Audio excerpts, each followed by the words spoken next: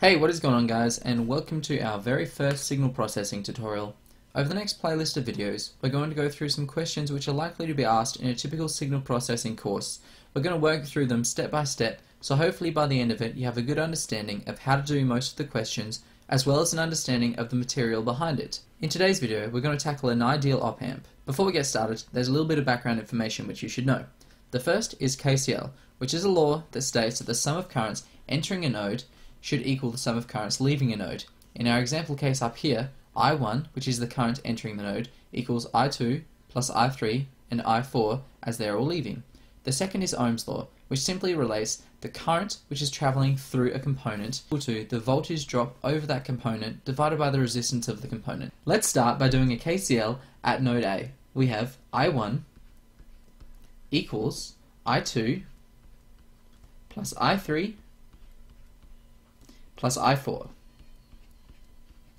We can simplify this somewhat as we know the current going into the op amp thanks to our op amp properties up the top here. So we can cancel I3. Since we have V plus equals V minus due to the ideal op amp, the voltage at node A is 0 volts. Therefore, the voltage on both sides of resistor R3 are 0 volts. Therefore, there can be no current traveling through the resistor and I4 is simply 0. That leaves us with I1 equals I2.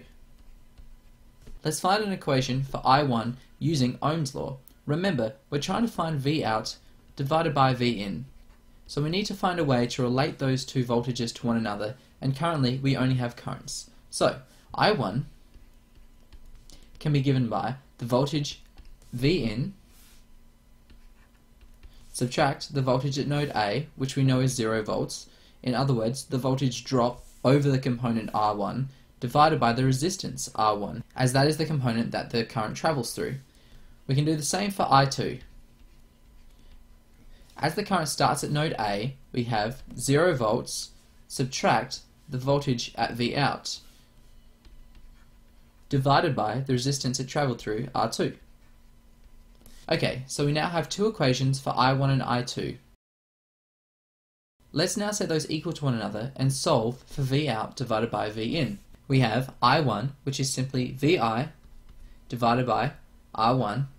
We can omit the 0 divided by R1 since that is simply 0 equals the 0 we can drop again minus VO divided by R2.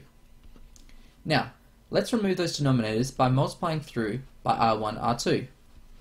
That gives us VI, the R1s cancel, and we're left with R2, equals negative VO the R2's cancel, and we're left with R1. Okay, so we're getting a little bit closer now. Let's see if we can find VO divided by VI. We can divide through by negative R1 to remove that negative and R1 from the VO. This gives us R2 divided by negative R1 times VI equals V out. Then we can divide through by VI and we've got ourselves our final equation. VO divided by VI equals negative R2 divided by R1. Okay, so we found our gain for our equation, but what does this mean for our system? The output of our signal is our input signal scaled by R2 divided by R1 and then inverted thanks to the negative. So, if we picked values for R2 and R1, for instance 2 kilo ohms for R2 and 1 kilo ohms for R1, we'd be simply left with negative 2 VI equals V out. Therefore, the output signal is the original input signal multiplied by 2 and then inverted thanks to the negative.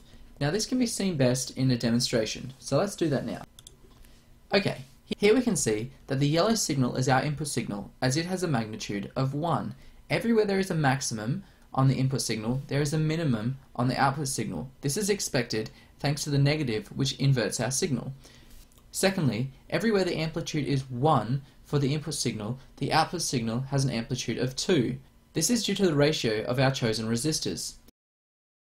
Okay, so you might be thinking, how are we amplifying a signal with only resistors and an op amp, considering the op amp doesn't appear to take in any extra voltage? Well, that's not entirely the case. The op amp also has an external power, VCC, and a ground, which it uses to amplify the signal. Thanks for watching guys. If this video was a little bit basic, that's okay.